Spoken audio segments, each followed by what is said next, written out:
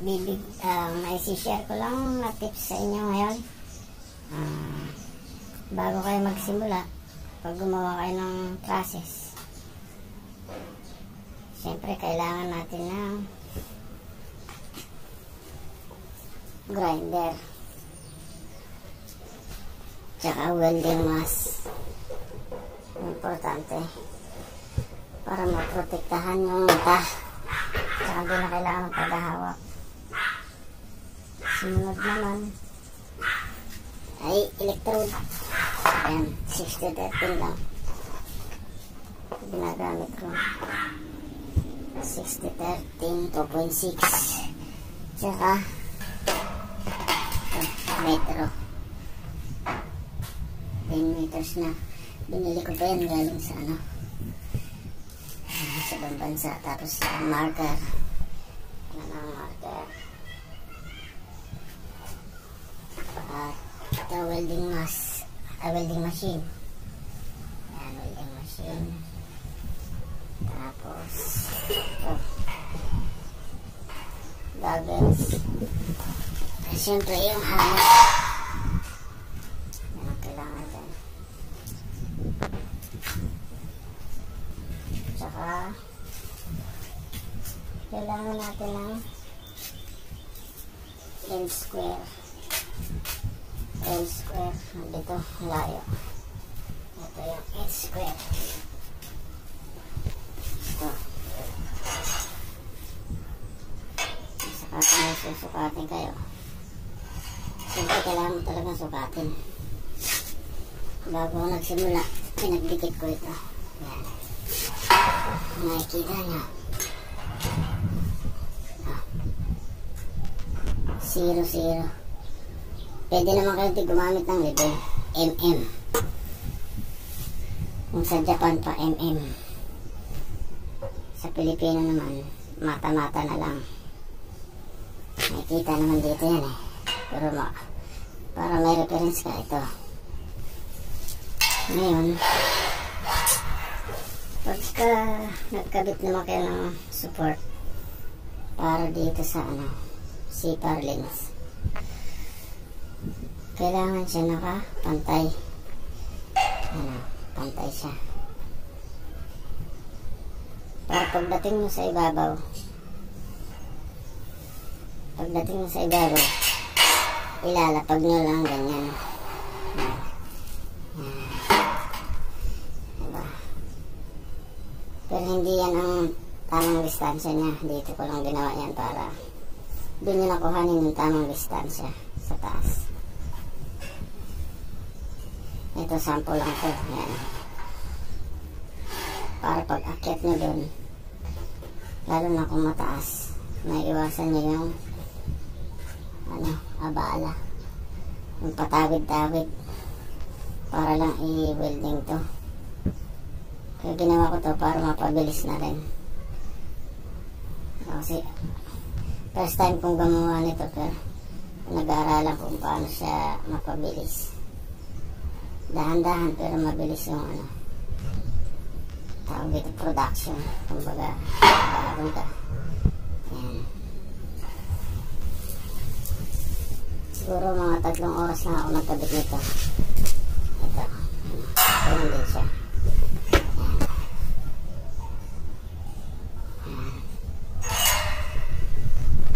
Ang sukat naman niya,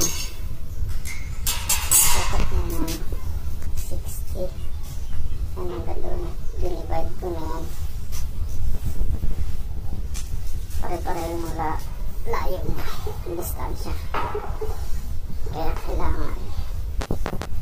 Kailangan nyo talaga ng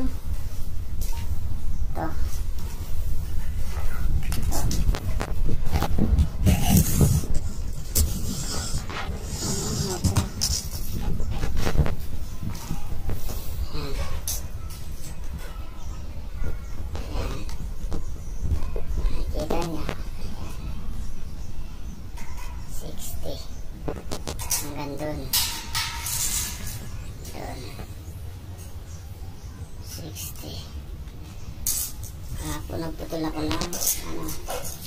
Nagputol ako ng okay ba? ngayon nagkakabit ako. Bali ang na, naputol ko 60 piraso. 60 piraso kung ano yung kapal nito. Kapal nitong si Parlins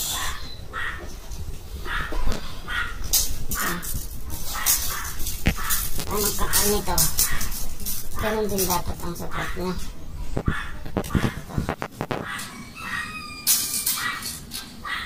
Kasi tutulong din sa akin yung yung YouTube. Nireference ako kapag mayroon akong dapat malaman doon ako sumisilip. Sana ba nila ginawa? Kung sila nga nagagawa ako. Try ko na rin bali ang ilalagay ko dito 12 pieces. Kasi parlins 2 by 3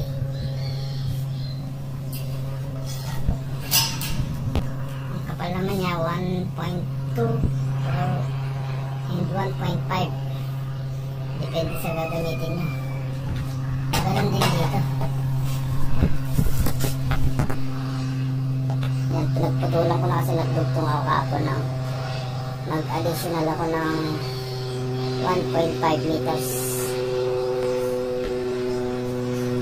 Kasi mula dito mula din sa pader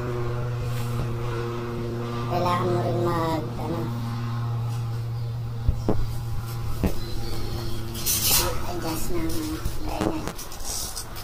Balik sa akin kasi 50 lang. 50 ito yung pagkakabitan ko. Sa likod. Alas 12 na hindi ko na malayo yung oras.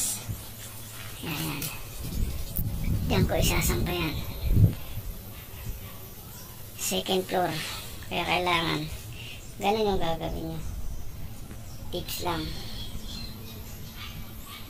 Para mak makaminos kayo sa gagawin sa taas siguro parang mga ganun din naman ang ginagawa nila yung mga talagang gumagawa. Ako kasi ngayon ko lang nasubukan to. Dito sa bahay ko. Gusto ko rin experience yung napapanood ko sa youtube. Yun nga. Kailangan mo muna magpundar ng mga gamit o pinte o kaya mag-rental kayo mag-renta kayo na ano. Yan welding machine. Powerhouse yung machine ko binili ko yan. Umabot siya ng 12 12,000 tapos ito namang grinder ko. 360 reals. Yan sa Saudi ko pa binili yan. Welding machine ko kasi. Meron siyang TIG. TIG in art. And wow, gumawa ko ng railings pwede ko siyang gamitin ng TIG gamitan ng TIG kasi nga medyo malambot yung stainless. Yan puro kalat na. So ito yung hagdanan papunta rin sa taas. Dyan ko dyan ko isasampa mamaya. Hindi ko ako kumuha ng ano ng gumagawa. Ako lang po talaga. Sabado at Linggo yung mga pamangkin ng nanay ko. Papatulong na lang ako mag ano magsampa rito. Kapag kasi naisampa na yan medyo ano na maalwan na madali na. Yan ganyan na ito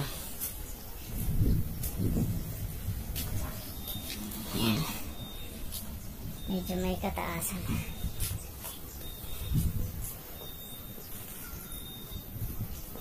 Yan siya